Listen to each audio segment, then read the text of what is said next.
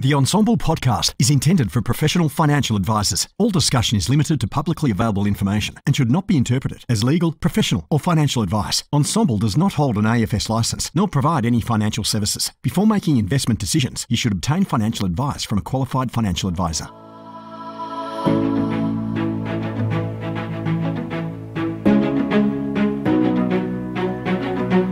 Hey guys, it's Ben Nash here. I'm one of the co founders at Ensombl and founder of financial advice company Pivot Wealth, which is my business baby I started from scratch a little bit over seven years ago. In that time, I've leveraged some of the learnings of the Ensombl community to scale the business to become one of the better known financial advice companies for high income accumulators in Australia. And through this podcast, you can join me each Tuesday as I have the absolute privilege of interviewing some amazing people where I'm going to selfishly be able to learn and continue my journey to improve every area of my advice business. Hopefully, you can learn a few things on that journey as well. Jump over to ensombl.com and if you haven't already signed up to learn and share from others, or simply download the app. This podcast is proudly sponsored by NetWealth.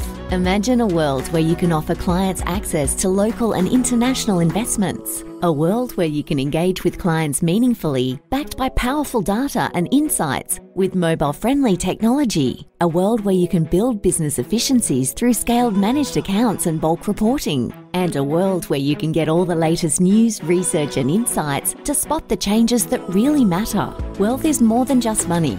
It's about opportunity and progress. A world of opportunity awaits you at netwealth.com.au forward slash woo. Hey guys, Ben Nash from the Ensombl team, and today I'm here with Dan Testa. Dan is a senior advisor at Tribeca Financial. Um, keen to pick Dan's brain on, uh, I suppose, his uh, journey and advice, but uh, specifically around the the focus that they have with clients, some of the lessons and challenges over the last little bit. Uh, Dan, mate, great to have you here. Thanks, Ben. Thanks for having me. I thought a, a, good place to start is is maybe just talking through your advice journey and how you've ended up where you are today. Always a good start. Uh, for me, I was uh, at Westpac um, BT for a number of years, um, close to 10, and uh, then found my way out of the BT advice world into, I guess, my own little thing with a, a group of other advisors, um, which was probably a bit of a false start uh, for me to go out on my own.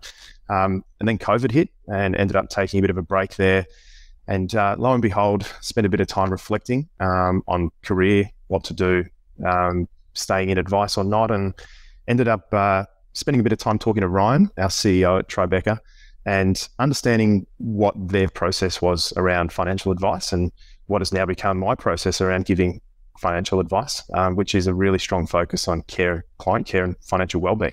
And I've been there ever since. So, uh, 2020 it's interesting. I, I've spoken to a few other advisors on the podcast that, um, you know, not a not massively dissimilar journey that started out generally at, at some of the, the bigger institutions or in bigger businesses, and then um, you know decide that they want to to try doing their own thing and and and running their own show, and and then realize that it wasn't you know I, the ideal setup for them how did that sort of come to, together from you? And and you know what was the what what was the key I, I suppose driver of making the call there?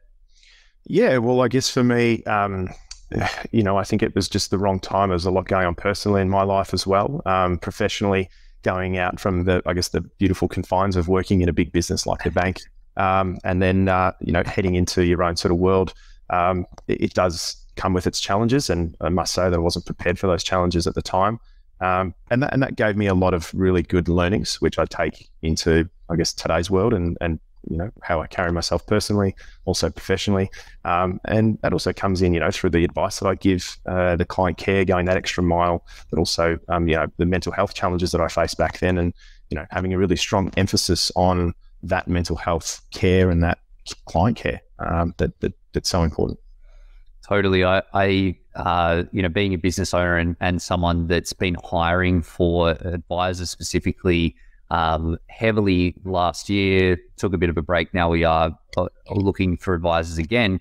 Um, I love talking to people that have either either worked in a in a role that's in a small business where they have a really close connection to you know the whole flow of work and how it all fits together, or that have that have worked for themselves before because I feel like it does really give you a completely different perspective on all of the things that sit behind the scenes. And I know for me, like when I started my business, I had no idea about all of the the million things that you actually just sort of take a little bit for granted or just don't really think about that somebody actually needs to do that or someone needs to be the one that sets up an email signature or figure out what links go where and how this thing links to this other thing and what do you do you know for the uh, privacy policy on your website and, and all of this stuff so um, I love seeing that lens, but yeah, it is a it is obviously a lot um, there, and I, I think uh, particularly through the last couple of COVID disruption disrupted years, um, you know, it's another dimension to the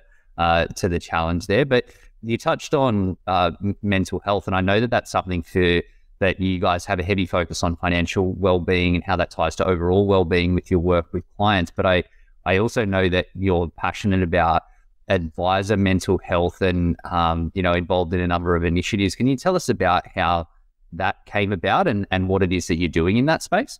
Yeah, Ben, that's uh, definitely a passion of mine. For those who, uh, I guess, connect with me on LinkedIn follow me, and my uh, my mantra is making the world a happier place for as many people as possible. It's kind of a daily thing, um, starting with myself. Um, you know, we all have mental health, whether it be a good relationship or bad relationship with mental health, and I think, you know, we're really privileged as financial advisors to work with clients um, who are going through their own challenges, and that shines through. You know, we get a lot of information downloaded on us. Um, a lot of the time, when we're diving really deep, we're going into you know uncharted territory that uh, that could bring up some things for them. Especially, I mean, our process working with you know behaviors and money scripts and stories that have you know been inbuilt into someone since their you know childhood. So it does bring up a lot of stuff and coming back to it, that that um, play on mental health, especially you know the link between health and money, they're so intrinsically linked and so powerful. I think uh, you know it's it's a strong case for us being up there with doctors and medical professionals in in how we conduct ourselves, um, especially when it comes to I guess being like a GP for money, um, knowing where we need to take the conversation and, and where we can't go, but obviously making sure that we we at the heart of it are, are asking that next question because that can be uncovering a lot that can impact the advice that we're giving. And that mental health side of things, um, it sort of comes back to what you do in your own world and how you take care of yourself, how the conversations that you can have um, with others around you, and especially in the advice community with all the changes that have happened, not just through COVID, but since the Royal Commission. Um, people who have you know lost livelihoods and businesses or had to make you know big decisions to, to get further educated to stay in the industry, um, or others that have made you know uh, quicker exits.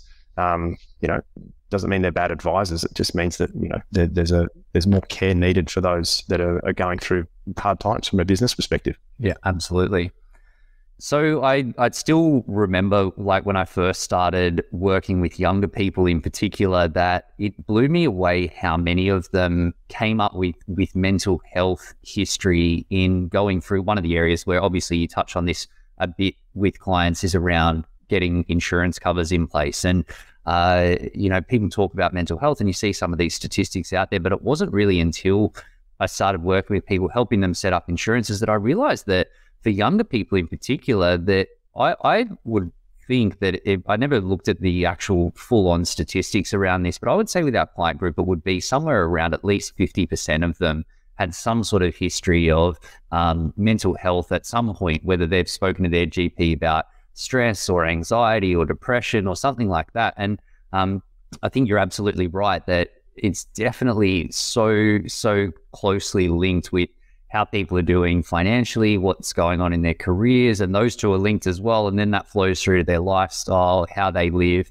um, as well. And I love, I love what you guys do. I'm, I'm on your email list and see the stuff that comes out with that focus on well-being um, like you, I, I, feel incredibly privileged to be able to help people solve some of these problems to alleviate some of that stress and stress and pressure that can come um, around money. And I, I, think it's great to see the industry moving in that direction. I think that um, getting, as you say, being held to the same sorts of standards as other professionals in this space, given how critical that responsibility is. Um, is is something that probably makes makes a lot of sense. Tell tell us, Dan, how how do you guys focus on that? Like practically, how do you focus on it through the advice process? Yes, good question, Ben. We um, we've got a tool called the Financial Wellbeing Matrix that our um, you know broader advice business and investment committee and, and a range of people have sort of come together and you know in that advice process have actually said, hey, what do we need to do to uncover people's relationships with money and a big focus on helping people improve that. So the financial wellbeing matrix helps understand first of all um, what it is, what what uh, financial well-being is. So it helps to explore, you know, the relationship be- between security uh, and freedom of choice, which are two of the key, probably the most important emotions that one feels when it comes to um, explaining, you know, what finance is all about or what money means to them. So then we break it down into four separate sort of sections and say, okay, well, let's look at now in the present time and focus on security and freedom of choice. So in the security area, we speak about control of money. So what comes in what goes out, and we get them to score themselves in all of the four quadrants, um, score out of one to 10. 10 being nothing needs to change, I feel perfectly fine. And one being white flag is up and this is a catastrophe and we need some, some help. Um, we focus then on the freedom of choice and how they use their money now. Are they allowing themselves the ability to, you know, fall into those bad behaviors of, you know, Uber Eats and um, going out more often, um, spending, you know, discretionarily on things that maybe they don't need to or they shouldn't, um, given mm cost of living is increased. Um, these types of things do weigh heavily into what's happening uh, in their in their sort of hip pocket on a month to month basis or week to week basis.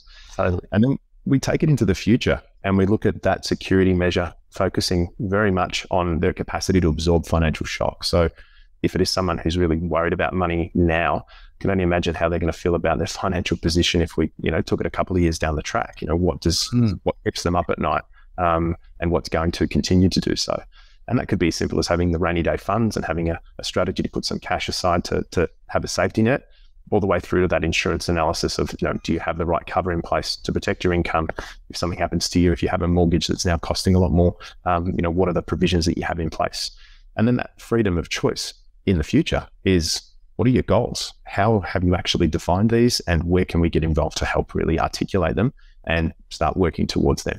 I love that because I sort of nerd out on the money psychology side of things. And when I was doing the research for my first book, I found that they're, they're one of the big challenges when it comes to financial planning generally is that people really struggle to identify with their future self. Like, how are they going to feel? What are they going to want? What's going to be important to them? And, you know, being good with your money is really about prioritizing what your future self is going to want and need and, and potentially, you know, saying no to a couple more things today so that you can say yes to a few more things in the future. But because we do struggle to really identify with that future person, uh, then we, you know, we don't make as good a financial decision. So I think anything that we can be doing to get people to really step into the feelings around that uh, is only going to help with making better decisions around the, the the dollars and cents. But you know, ultimately contributing to the well-being as well. So I love that. Um, I love, yeah, the, the way that you guys get le- people to lean in uh, to that. How is that a, a, relatively new thing that you guys are, are doing, or like what's sort of been the evolution there? Yeah, well, I joined the business when the financial wellbeing matrix was really, um, you know, getting up its head of steam. Um, you know, Ryan and the business could certainly answer those questions as to what they felt was the right change in terms of the brand and the shift uh, that Tribeca went through, given that it's you know 13 plus year business now, and Ryan has uh, has grown this business progressively since he was uh, an advisor and on the tools himself, and now works sort of uh, on the business rather than in the business from that perspective. Going back to your earlier comments about business ownership and all the challenges that are faced, but from that perspective, um, I came in at a really good time because it's when we were really defining how this was going to be, I guess, not just taken as a client tool, but then also taken to the world of um, you know uh, general advice and potentially providing information to uh, employers, employees. Uh, and one of the, I guess, passion projects that I'm involved heavily in is very much doing a lot more workplace presentations and speaking to people on education around finance. Um, because financial literacy is so important, even if they're not ideal advice clients. It's really about making sure that the conversation and the information that is out there is accurate and it's mm. coming from a professional source, not from a TikTok video or something that uh, does come, you know, with uh, you know an, an, unlicensed approach, which is something that for us, I know we've got a lot of good advisors that do great work in the in the social media space, including yourself. Um, but there are, there's a lot of unsolicited information that's out there, and if you're out there educating someone based on what they're hearing from an you know, uneducated source, that's that's going to be dangerous. And financial literacy, as we all know, is so important, especially in times such as now. I was about to say this. Uh, don't don't go knocking a good TikTok video because they can be helpful. But uh, no, I, I, get where you're coming from in that that there is a lot of noise out there, and and there's also some of the stuff that you just see and shake your head like some of it is is conflicted and dodgy, but some of it is just dumb and wrong. and um, you know, it's no wonder people end up confused. But I think that there's obviously a lot that we do when we t- you take on a full financial planning client that sort of necessitates a level of education to get people to making good decisions and confident yeah. decisions and actually taking action.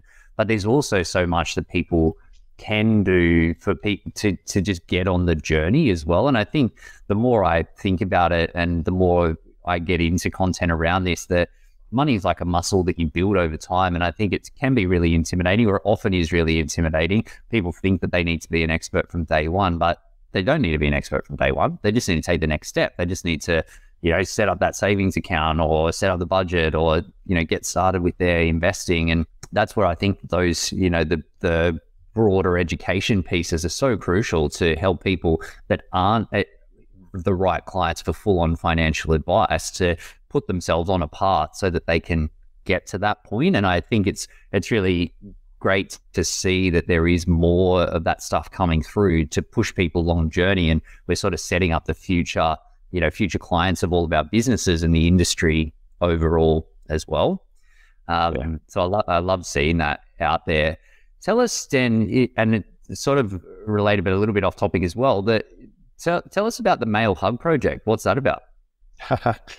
Um, yeah, so outside of financial advice world, um, one of the sort of things that I picked up over COVID, I was actually fortunate enough to uh, be introduced to this project that, that started during COVID, or actually just before, and um, was uh, just reached out to the CEO Tony and had a conversation via LinkedIn and said, "Hey, I'd love to get involved in something like this. This is my, you know, story for one of a better term, and, and something that I think I could." Uh, certainly help in spreading the word and giving back and being part of the buddy program and being a support person for whomever is out there needing someone to talk to.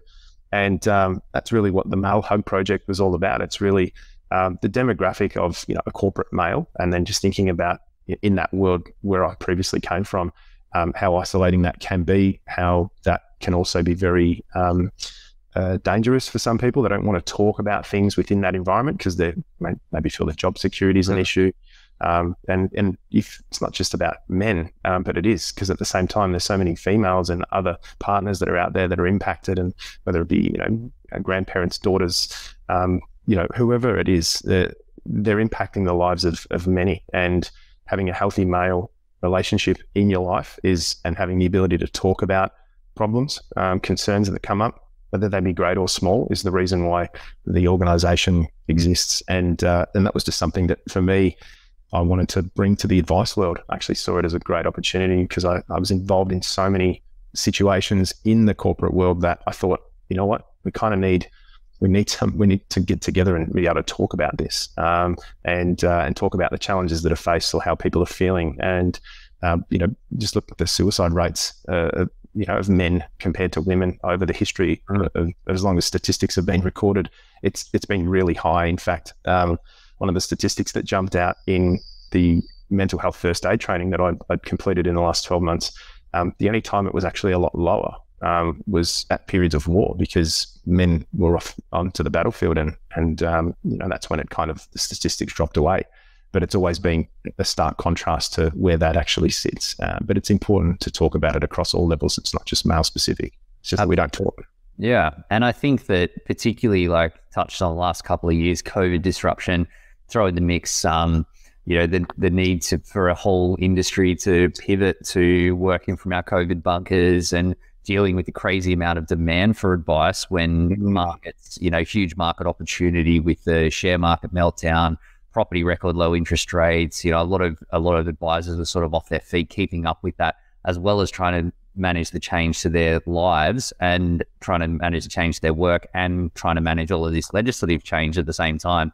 Uh, and I know from from talking to uh, a bunch of advisor mates and for myself included that super challenging time to to deal with all, all of that stuff. Um, I know for me, like uh, you know, locked in the COVID bunker, trying to deal with business, you know, having all that business uncertainty, managing a team, all of those sorts of things that, uh, you know, it, it, took its toll and it, it sort of took a bit of uh, a lot of focus to figure out what the new, you know, normal was, how to deal with that, try to bake some routines into my life so that I could manage those things and do it in a way where I could still, you know, be a human being, be a partner, be a dad um, as well. I, I, uh, I've built in a couple of things that I, I think have worked well, I, I, certainly reacted not in the right way in the first lot of lockdown, where you know not exercising, not looking after nutrition, not um, uh, managing alcohol consumption the way that you're probably supposed to. At least I think mm-hmm. so. Um, so I, am interested to hear from you. Like, what, what's practically what what are some of the rituals or routines that you put in place to to to help you with that stuff? Yeah, look, and I think you hit the nail on the head there with COVID. A lot of the good behaviors and good practices went out the door. And I guess this is, you know, something I don't want to be preaching, but it's it's just some, some of the simplest of things. Um, we talk about it all the time in how we operate in the business. Um, it, it's really all about education um, and, and what we can do to educate ourselves on the reasons why we don't talk and those types of things. Um, mm. But uh, first and foremost, having a good conversation with your connected people. If you're feeling really crap, pick up the phone, talk to those people that are closest to you, um, or you know, get out and go for a walk. Um, we we practice, you know, taking our meds, and that's not medication. That's focusing on the M, E, D, and the S. The meditation or mindfulness and, and getting yourself centered. It's focusing even just the simplest of things like on your breathing um, and, and controlling your environment and taking some time out to meditate exercise, as you sort of started to allude to. You didn't move as much through COVID, but we were able to have a little bubble. Um, you know, what's your exercise routine like? Even if it's just as simple as getting out and going for a 10, 15, 20 minute walk a couple of times a day just to have a break, get up off your feet. You know, standing desks, one of the greatest inventions going around just to keep you moving and keep you up on your, you know, from sitting. Um, diet, self-explanatory. Um, most of the time, you know, the, the age-old saying you can't out-train a bad diet, or having a really good diet to start off with is eighty percent of the uh, eighty percent of the work um, for what you put in your body and, and what you're consuming. Um, and then, most important, our sleep. Sleep is one of the most important things. In fact, the most in ma- managing our mental health and getting a really good night's sleep. Um, you know, sleep hygiene. I was having panic attacks through COVID. Um, sleep hygiene was something that I explore, explored and experienced um, really great effects with. Um, just feeling this overall sense of calm when you you know stop doing things like you know having coffee you know from 12 o'clock um, you know onwards the impacts to that caffeine later on in the evening um, are profound um, you know just, just, devices getting rid of technology switching off and it's really easier said than done when you're running a business um, and, and dealing with clients in such volatile times but it's about setting those boundaries and those expectations. And again, going back to education, educating your clients on what's acceptable and what's not, what the expectations of that relationship look like, and and also giving them some of that. You know, well, this is what I actually practice, and sometimes that can also help them. Mm, absolutely, and I think like money with this sort of stuff that it it can be really overwhelming. That there's and like a lot of the things that you mentioned there that it's sort of talked about. It's something that is maybe we don't talk about as much as we should, but certainly people are increasingly aware, or at least I am, that you know you should be sleeping, you need to watch your nutrition, you have to exercise, you know, all of those sorts of things. But I know in the past it's like you, you feel like you have to do it all and do it all straight away. But I think with a lot of these things that you just need to do something, you know, like do one thing and then you've and then you've got one habit that you can build in and then you can build on that and add something in or try and do a bit of habit stacking or um, whatever that you don't need to be like you don't need to be a financial expert tomorrow.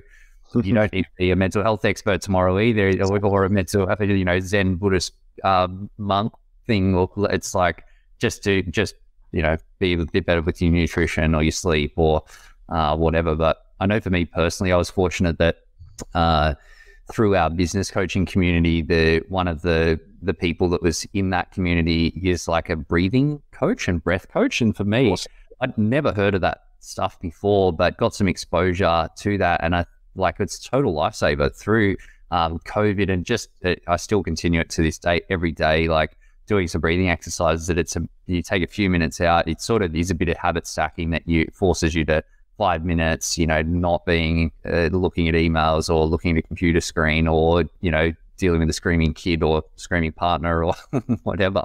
Um, just, just to sort of uh, you know give you that little bit of zen time. For me, that was one of the uh, the real sort of catalysts that got things started, and then from there, you know, you can sort of add things in um, over time. But uh, yeah, I, I, think it's all there's thankfully there's a lot more information out there about things that you can do to to make it easier. But it's so great to to see that stuff, and I think particularly as advisors in the advice community. Um, you know, something, something that we could all always do a little bit more of as well. Yeah, definitely. And that's the one thing I guess from a, um, I guess advisor care point of view, and and I guess spreading the word to the you know XY Ensombl community, making sure that you know there's com- there's communication out there. So you know my LinkedIn, phone, all those types of things, they're all available and on for anyone who ever needs to chat.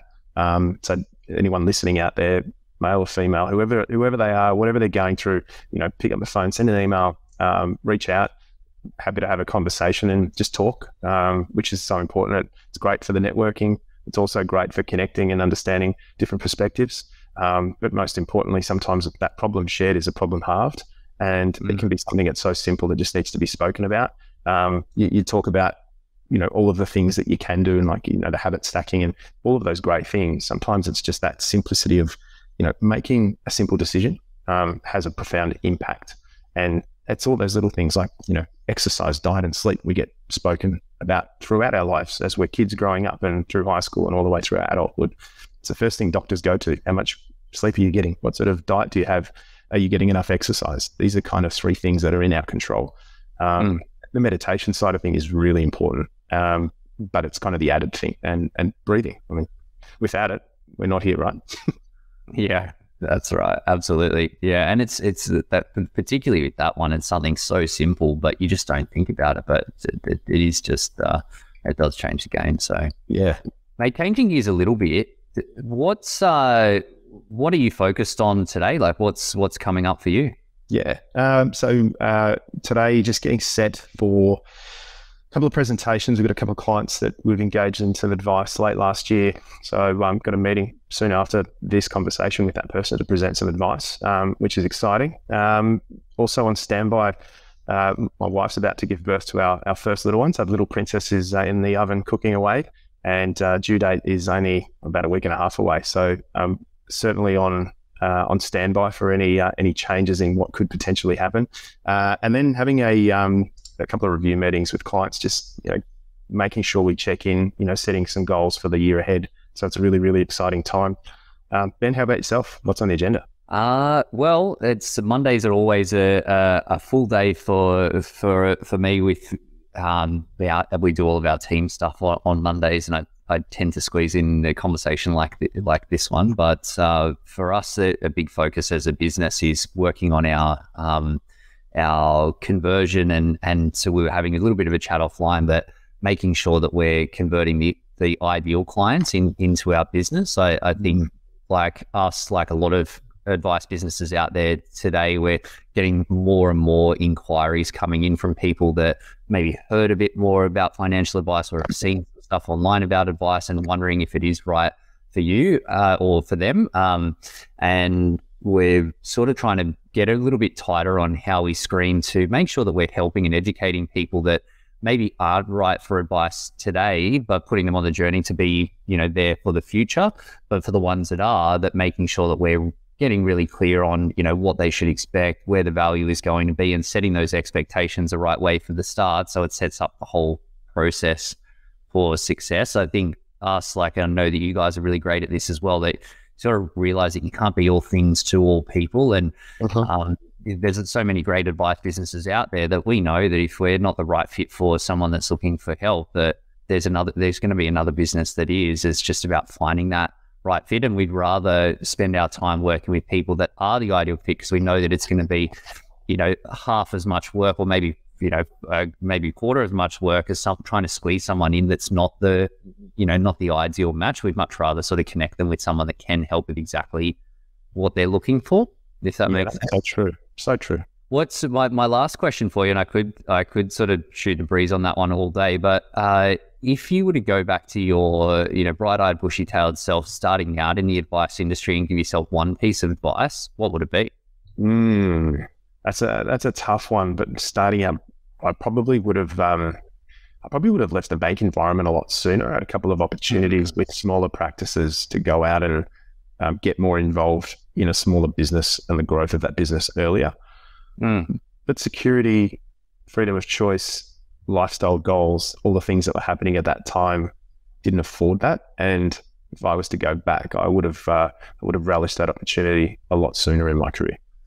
Yeah, it's an interesting one. I know I got my start in a bigger in a bigger business as well, and it's it is scary when you um, be considering taking that leap, particularly if it's what you've known that you know there's all this uncertainty, and um, we tend to you know in that you can sort of put, stick to what's safe um, in that as well. But I, I love talking to people that's particularly going into smaller businesses and they you see how much of an impact they can have like directly as opposed to just being part of a, a massive machine. Um, so that's so great to see. But mate, thank you so much for sharing your your insights. Uh, I feel like for the the next conversation that we have, we can focus on you know how to master the juggle between first time parent and you know work business advice family and all of that sort of stuff. But i suppose that's uh, that's a con- conversation for another day.